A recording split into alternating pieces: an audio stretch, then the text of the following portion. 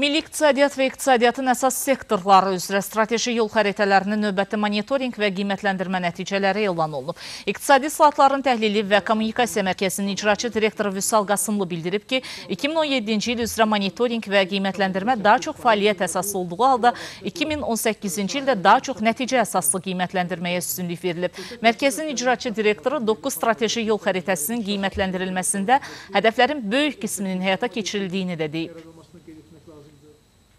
Bildiyiniz kimi strateji yol xəritələrində 2025-ci ildə qeyri-neft sektoru üzrə Azərbaycanda ə, e, hər nəfərə 450 ABŞ dolları həcmində ə, e, ixrac həcmi ə, e, hədəf kimi qoyulmuşdur və bu əsas icra göstəricisi istiqamətində ə, ə, deməli Azərbaycan hökuməti uğurla irəliləyir və onu demək istəyərdim ki, 2017-ci ildə qeyri-neft sektoru üzrə ixrac həcmi 24% artıb, 2018-ci ildə 10% artıb.